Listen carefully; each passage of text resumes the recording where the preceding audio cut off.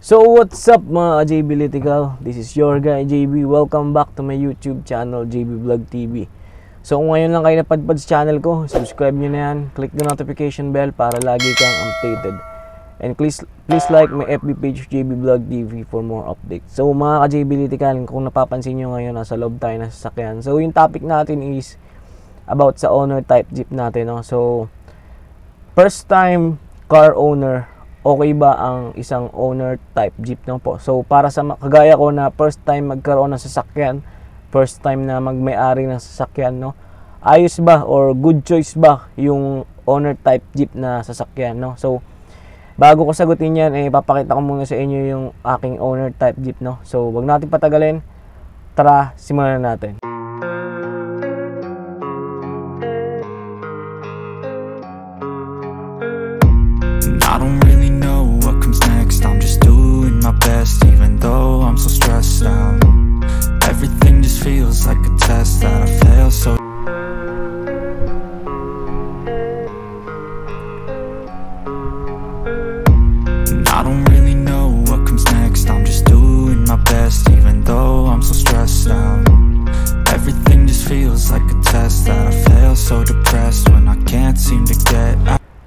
So yun no, mga ka-JB Litical no, na sabi na natin na ah, naipakita ko na sa inyo yung ating owner type Jeep no. So siya yung gamit natin ngayon. So ngayon bago ko sagutin yung tanong na okay ba para sa first timer na magkaroon ng sariling sasakyan yung owner type Jeep.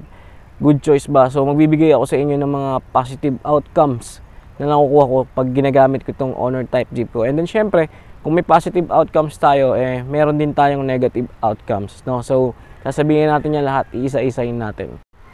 So, ito, number one advantage niya para sa akin, mga ka-JB Litical, is yung makina niya. Bakit yung makina niya? Kasi yung makina nito is 4K engine, no? So, pag sinabi kasi nating 4K engine, no? So, Toyota 4K yung makina niya, no, mga ka-JB Litical. Pag sinabing 4K engine is doon pumapasok yung pagiging matipid sa gas, no? So, yung Santa Maria nito, Santa Maria Bulacan, San Jose del Monte, kaya 400. Eh, sobra-sobra pa, no? Kaya, Malabon, pag kinargaan ko ng 400, eh, sobra-sobra na yun, no?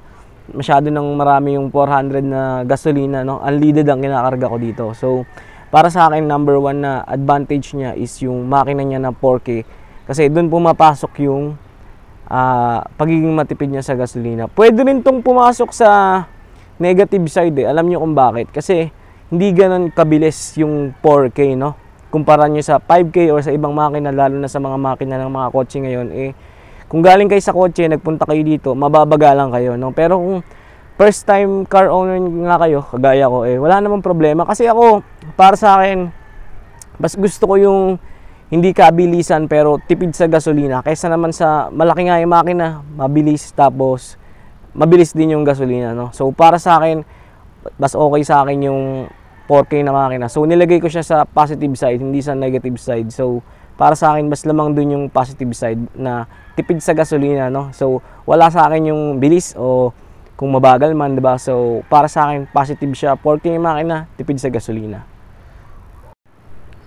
Number 2 na advantage niya sa akin, no, mga ka-JB Political, para sa akin is yung mga chassis niya, yung chassis gawa sa bakal, no. So, yan, may bumper nakikita nyo. Yung paligid nito is gawa sa bakal. So, kung makikita nyo, eh, pagka nakabangga to ng sasakyan, wag naman sana. Eh, yung sasakyan na, na mababangga niya ang masisira. Wag lang yung mga truck, ano. Pero kung masasagi niya is kotse, eh, malamang may kalalagyan yung kotse sira, eh, no. So, ito kasi, matibay yung paligid nito, bakal, no. So, hindi katulad ng mga kotse ngayon na bagong gawa, yung galing sa kasa is fiberglass yung gilid no? So hindi purong bakal. So ito so ito kasi is purong bakal yung pali, yung paligid ng chassis niyan. So stainless nga. Ito nga pala sa mga nagtatanong yung hood niya yung hood natin yung sidings is stainless no? So yan yung bumper bakal. So pero itong sidings nito is galvanized siya. So hindi yan stainless no? So pininturahan. So ganun din yung flooring yung flooring natin is galvanized, no? Pero okay pa naman eh. Okay naman. And then, meron din tayong top load na stainless, no? So, matitibay ang mga yan. And then, yung ilalim is bakal na. Number 3, mga ka-JB Litical. So, kung mapapansin nyo is nakaharap sa windshield yung camera natin. No? So, yung gusto ko kasing ipakitang positive dito na number 3 pagdating sa owner type Jeep is kitang-kita mo, no? Kitang-kita mo yung harap ng sasakyan mo. So, tansyadong-tansyado mo, imposible kang bumangga. No? So, mas malaki yung 90% yung chance na hindi ka sasaagi dito kahit nag-aaral ka pala magmaneho. Dahil kitang-kita mo yan, oh. So, nakausap pa yung upuan ko niyan, no? So, pag in-adjust ko pa yung upuan ko niyan, so tignan natin, pag in-adjust ko pa yung upuan ko, so mas malapit na ako sa harap, di ba?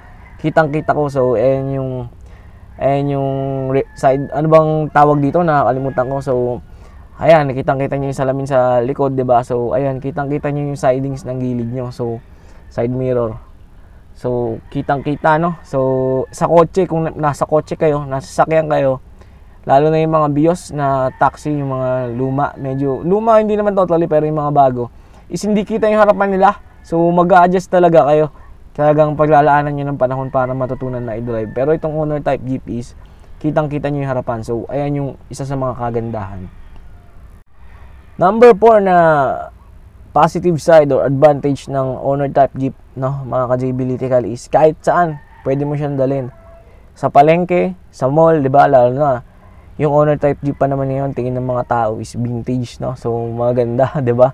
So, bihira na lang yung maayos daw na owner type Jeep. So, pwede mo siyang ibagay kahit saan, no? Pwede mo siyang ipunta sa pangmayaman na puntahan. Pwede rin sa pangmasa, pangmahirap sa mga palengke, pwede rin sa mall, no? Kahit saan pwede mo siyang ibagay, 'di ba? Hindi gaya ng mga bagong sasakyan ng mga sports car, luxury car, parang ikaw sa sarili mo mahihiya kang dalhin sa palengke, 'di ba? So, isipin mo, baka marumihan. So, ito, okay to. Pwedeng pang palengke, pwedeng pang pamilya, di ba? Pwede ring pang hanap buhay. So, pwede siya sa lahat, di ba? Actually, first car ko to, personal car ko din. Lahat, ginagamit namin to pang grocery, sa mall, pamalengke, and then, pag may lakad kami, ito yung gamit-gamit namin. So, para sa akin is, ayun yung isa sa mga positive side or advantage ng pagkakaroon ng owner type Jeep. So, Number 5 naman, no, na advantage or positive side pagdating sa owner type Jeep is presko siya. Actually, kasi open na open eh, di ba, yung gilid. So, open na open. So, para sa akin is presko siya. Pag, lalo na pag malamig yung simoy ng hangin, pag umaga, pag umaga is talagang napakasarap i-drive, napakasarap i-drive na itong owner type Jeep, no? Pero pag, pag mainit, pag sobrang init naman, ang problema is sobrang init din, no? Mainit din. Pero kasi sa kaso nito, is mamaya sasabihin ko sa inyo. Meron pa akong idadagdag diyan, no. So, pero ngayon para sa akin is nasa advantage niya yung presko. Pero pumapasok din, pwede rin kasi siya sa negative side eh, yung pagiging open niya kasi mainit din eh. Pag time na mainit yung panahon, talagang mainit, 'di ba? Pero pag malamig yung panahon eh malamig. So, yun, mga ka-JB Litical, nakapagbigay ako ng 5 advantages or positive side ng paggamit ng owner type Jeep. So, punta naman tayo sa negative side ng paggamit ng um, owner type Jeep. No? So, number one is pag umuulan. Bakit? Kasi nga, di ba, open to. So, open yung side niya. So, pag umuulan is pwedeng pasukin yung loob ng owner type Jeep mo, yung mga gilid. So, yan. Pag umuulan, eh, pwedeng mabasa yung mga gilid na yan, yung mga sidings na yan, yung dito pwedeng pasukin ng ulan yan, pwedeng pasukin ng tubig. So, magpuputik yung loob, no? So, pwede siyang magputik. So, ayun, isa yun sa mga disadvantage niyang pagkakaroon ng uh, owner type Jeep, no? So, yun. Pero, para sa akin kasi, ginusto ko yung owner type Jeep eh. So, hindi ko masyadong like, pinagtutuunan ng pansin yung mga negative side about owner type Jeep. Pero, yun nga, pag umuulan, kung ayaw nyong mabasa yung gilid nyo, eh siguro hindi para sa inyo yung owner type jeep nyo.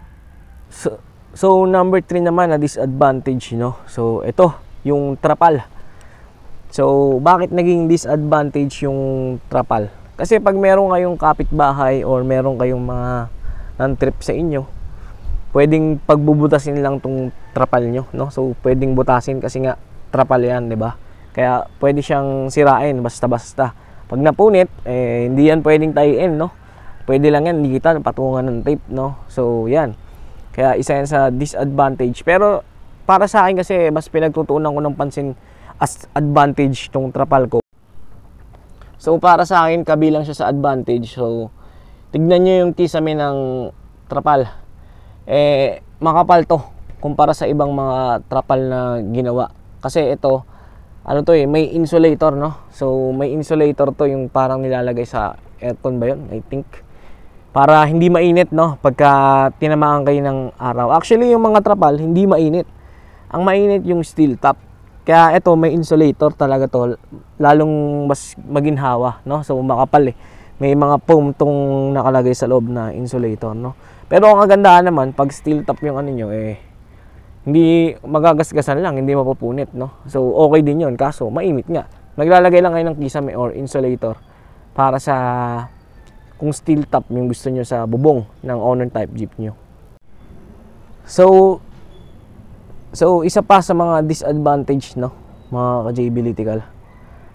Ah, walang pinto yung owner type jeep ko. So, ang pinto lang, ito may pinto siya pero walang bintana. So, hindi kayo pwedeng mag-iwan ng mga sasakyan na ay I mean mga papeles, documents, gamit or gadget dahil hindi siya close kagaya ng mga sa kotse na pwede kayong mag-iwan ng gamit. So ito hindi masyadong gano'n, no? So hindi kayo pwede mag-iwan ng mga importanteng gamit, no? Kaya ako dinadala ko yung mga gamit ko, yung mga bag, cellphone, hindi ko iniiwan kasi sa parking buksan lang yan eh pwedeng makuha diyan yung mga importanteng gamit nyo. So para sa akin uh, isa 'yon sa mga disadvantage ng owner type Jeep. So, isa pa sa mga disadvantage ng owner type Jeep para sa akin is yung matagtag, no? So, matagtag, matagtag to eh, pag nalulubak, namalangit-ngit. So, hindi ko alam kung lahat ng owner, owner type Jeep ganon. Pero itong sa akin is ganon. Kasi wala namang shock to eh. ba diba? Wala namang spring yan. So, puro muelle ba yan? Correct me if I'm wrong na lang, no? Baguhan lang din kasi ako sa sasakyan. So, walang shock yan. So, pag nalubak ka talaga ng medyo malalim tapos mabilis yung takbo mo tatagtag ka talaga eh so uh, yun no mga ka-JB nakapagbigay ako sa inyo ng advantage and disadvantage ng pagkakaroon ng owner type jeep no so I hope na dun lang nasagot ko na yung tanong ko na kung sa akin na isang first time car owner eh okay ba ang owner type jeep no so sasagutin ko pa rin, no, para mas maliwanagan kayo. So, para sa akin, eh, okay, no, ayos na ayos. 80 out of 100%, okay na okay ang owner type deep as your first car, no, or your per, tama ba? Unang sasakyan mo, unang kotse mo, no. So, para sa akin kasi, bakit? Kasi, nung umpisa pa lang, alam ko na na owner type jeep yung gusto kong sasakyan sa sarili ko. Kasi, nung bata ako, ang sasakyan ng father ko is owner type jeep, no. Sabi ko, Pagtanda ko, gusto ko sasakyan eh owner type jeep din dahil ang unang sasakyan na nasakyan ko nung bata ako eh owner type jeep nung father ko no. So sabi ko pagdating ng araw gusto ko owner type jeep din yung sasakyan ko no. So yun na nga, ito na nga owner type jeep na nga yung sasakyan natin no. So yun, maraming salamat maraming maraming salamat no. So yun mga ka-JB siguro naman nasagot ko yung tanong nyo kung okay ba yung owner type jeep na maging sasakyan or first car no So maraming maraming salamat no. Kung ngayon ka lang napadpad sa channel ko, subscribe mo na yan, click notification bell para lagi kang updated. And please like my epic page JB Vlog TV for more updates. So yun lang, JB out.